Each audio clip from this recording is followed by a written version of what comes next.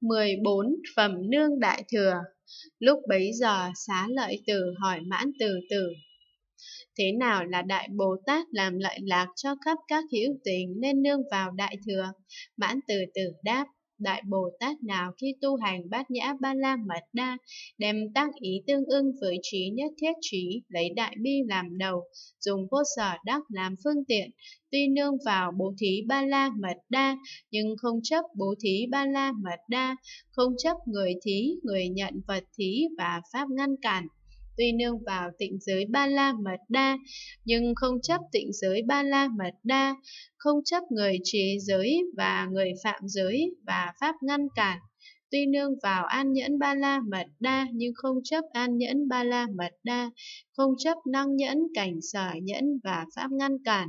Tuy nương vào tinh tấn ba la mật đa, nhưng không chấp tinh tấn ba la mật đa, không chấp người tinh tấn và người giải đãi và pháp ngăn cản tuy nương vào tịnh lự ba la mật đa, nhưng không chấp tịnh lự ba la mật đa, không chấp người tu định và người tán loạn, không chấp định cảnh và pháp ngăn cản, tuy nương vào bát nhã ba la mật đa, nhưng không chấp bát nhã ba la mật đa, không chấp người tu tuệ và người ngu si, không chấp pháp thiện, bất thiện, vô ký, không chấp pháp thế gian, pháp xuất thế gian, không chấp pháp hữu vi, pháp vô vi, không chấp pháp hữu lậu, pháp vô lậu và pháp ngăn cản. Này xá lợi tử, đó là Đại Bồ Tát làm lợi lạc cho khắp các hữu tình nên nương vào Đại Thừa. Lại nữa, này xá lợi tử, Đại Bồ Tát nào đem tác ý tương ưng với trí nhất thiết trí, lấy Đại Bi làm đầu dùng vô sở đắc làm phương tiện, vì khiến tu nên tu bốn niệm trụ cho đến tám chi thánh đạo, tu ba môn giải thoát, như vậy cho đến tu 10 lực của Phật cho đến 18 pháp Phật bất cộng. Này giá lợi tử, đó là Đại Bồ Tát làm lợi lạc cho khắp các hữu tình nên nương vào Đại Thừa. Lại nữa, này xá lợi tử, Đại Bồ Tát nào đem tác ý tương ưng với trí nhất thiết trí, lấy đại bi làm đầu, dùng vô sở đắc làm phương tiện, như thật quán sát Đại Bồ Tát chỉ có giả danh, lập ra nói là Bồ Đề và Tát Đòa đều bất khả đắc, sắc cho đến thức chỉ có giả danh, lập ra mà nói nên bất khả đắc. Nhãn cho đến ý chỉ có giả danh, lập ra mà nói nên bất khả đắc. Sắc cho đến pháp chỉ có giả danh, lập ra mà nói nên bất khả đắc. Nhãn thức giới cho đến ý thức giới chỉ có giả danh, lập ra mà nói nên bất khả đắc. Bốn niệm trụ cho đến tám chi thánh đạo chỉ có giả danh, lập ra mà nói nên bất khả đắc. Pháp không nội cho đến Pháp không vô tánh tự tánh chỉ có giả danh, lập ra mà nói nên bất khả đắc. Nói rộng ra, cho đến 10 lực như lai, cho đến 18 pháp Phật bất cộng chỉ có giả danh lập ra mà nói, nên bất khả đắc. Chân như pháp giới, pháp tánh, pháp định, pháp trụ, thật tế chỉ có giả danh, lập ra mà nói nên bất khả đắc năng giác sở giác chỉ có giả danh, lập ra mà nói nên bất khả đắc. Vô thượng chánh đẳng chánh giác của chư Phật chỉ có giả danh, lập ra mà nói nên bất khả đắc. Này xá lợi tử, đó là Đại Bồ Tát làm lợi lạc cho khắp các hữu tình nên nương vào Đại Thừa.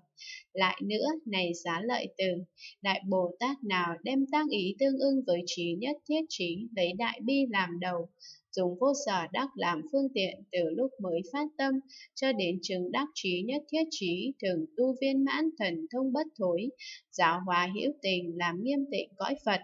Từ cõi Phật này đến cõi Phật khác, cúng dường cung kính, tôn trọng ngợi khen chư Phật Thế Tôn, lắng nghe thọ trì diệu pháp tương ưng với đại thừa của chư Phật, đã lắng nghe thọ trì rồi tư duy đúng lý, siêng năng tu học,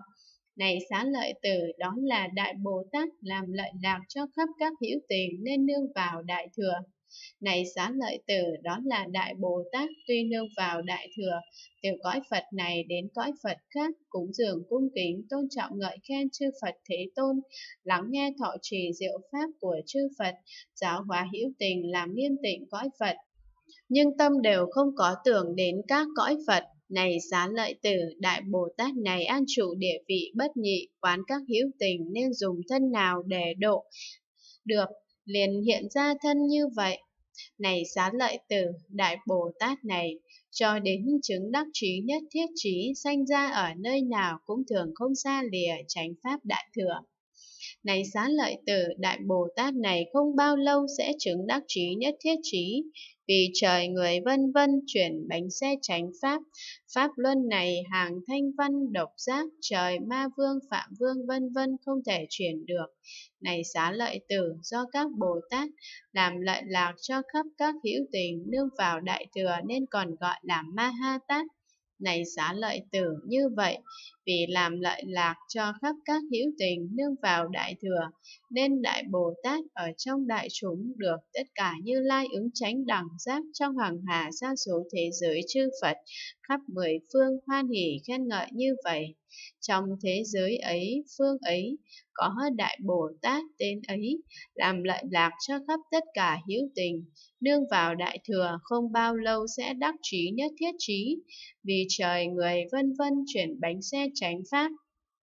Pháp luân ấy thế gian, các thanh văn, vân vân, đều không thể chuyển được. Tiếng khen như thế dần dần vang khắp mười phương người trời vân vân, nghe được đều rất hoan hỉ, nói, Đại Bồ Tát này không bao lâu sẽ chứng đắc trí nhất thiết trí, chuyển bánh xe diệu pháp độ vô lượng chúng sanh. Hết quyển thứ 412